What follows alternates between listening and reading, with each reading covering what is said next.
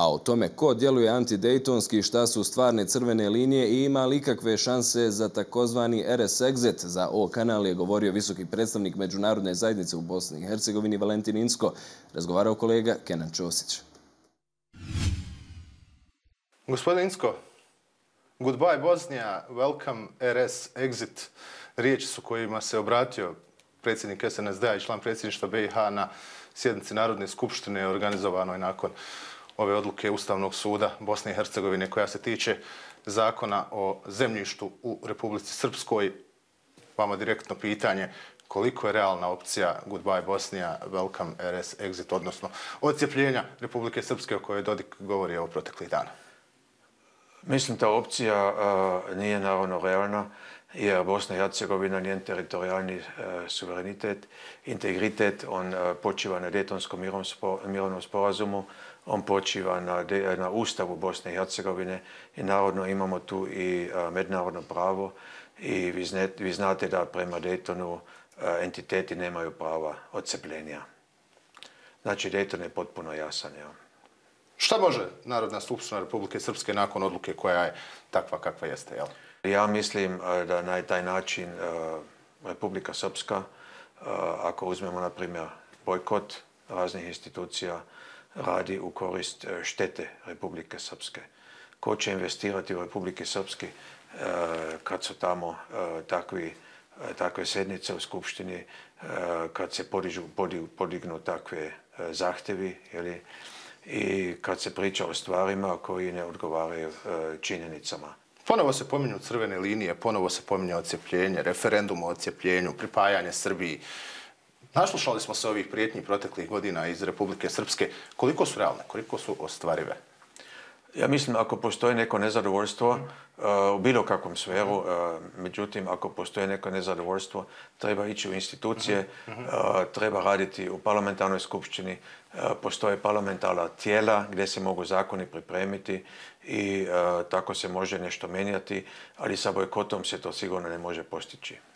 Bojkoti i prijetne ja, ne dovedu do ničega. Vrhovni ste tumač Dejtonskog e, mirovnog sporazuma. Koliko su odluke Ustavnog suda podložne raspravi, odnosno prihvaćanju i neprihvaćanju tih odluka? Ja mislim da o tome ne bi trebalo e, mhm. debatirati. Vi znate da u drugim državama donose odluke Ustavni sudovi, Vrhovni sudovi. One su, one su konačne, odluke su konačne i one treba povesti. Dosta puta može se desiti da nam se sviđaju odluke Ustavnog mhm. suda, dosta puta može da se desi da se ne sviđaju, ali njih treba povesti. I ako neko već želi da se menja Ustavni sud ili mhm. tako dalje, čak ako bi se nešto menjali u budućnosti, odluke prošlosti treba mhm. da se, treba da se povedu. To je potpuno jasno. Recimo, e, uvijek se kaže kako su odluke e, uperene protiv Republike Srpske. E, to nije tačno. Prvo, čini mi se oko 99% svih odluka su jednoglasne. Mhm, mhm. Čak možda više su jednoglasne. Onda što se tiče odluka u korist Republike Srpske, ja bih samo podsjetio na dve.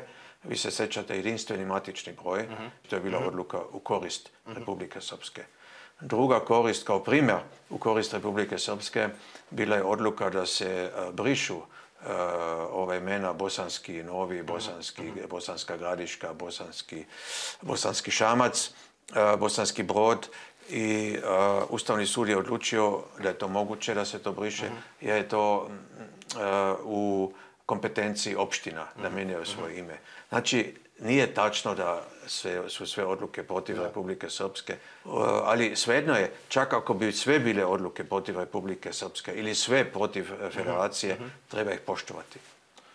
Mnogi će postaviti pitanje ukoliko ova presuda, posljednja odluka, odnosno Ustavnog suda, ne bude provedena u Republici Srpskoj. Hoćete li djelovati e, kako bi ona bila provedena? Hoćete li iskoristiti ovlasti koje imate?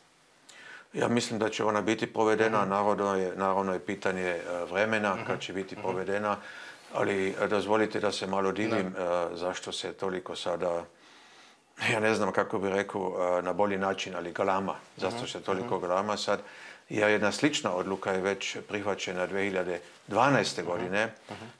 Tamo isto govora o raznim državnim, o državnoj imovini. I državna imovina naravno svugdje postoji.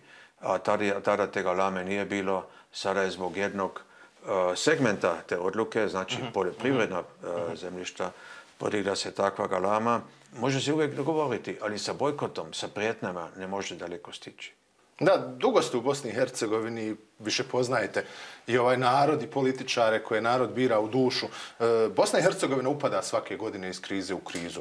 Nekako čini nam se da ne postoji period duži od mjesec dana da Bosna i Hercegovina e, nije u krizi. Stičete li vi nakon ovih godina u Bosni i Hercegovini nekad dojam da se radi o nekim, hajde nazovimo ih, dogovorenim dogovorenom djelovanju političkih aktera sa bilo koje strane, e, kako bi mobilizirali građane, kako bi održali atmosferu unutar biračkog tijela, hajde da je nazovemo nabrijanom i kako bi nekako stisnuli to glasačko tijelo e, koje će izaći na izbore i ponovo podržati te snage. E, ja nisam bio tu prisutan, ja to ne mogu da kažem, ali ima tu neke logike. Ima tu neke logike i kad vidimo stavove, kad se podudaraju, ali kad vidimo neka putovanja, eh, onda ima tu možda čak nekih dogovora, ali takvih dokaza nemam. Ja.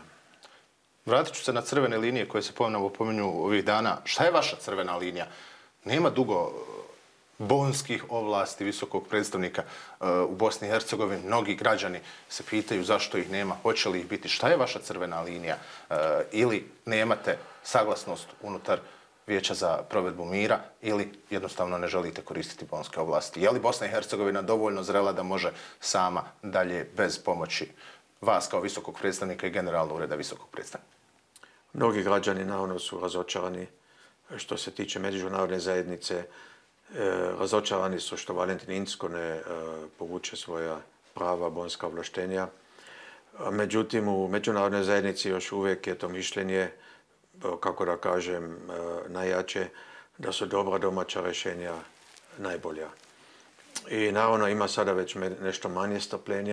Tu je bilo nekih uspjeha i međutim za mnoge ljudi to je premalo i presporo. Može li međunarodna zajednica i kroz vaše djelovanje ubrzati to? E, ja bi to želeo, ja bi to želeo, jer ako mi ne ubrzamo e, naš rad ili političari koji su u prvoj liniji za to nadležni, ako oni ne ubrzaju svoj rad, onda će ljudi ubrzano odlaziti.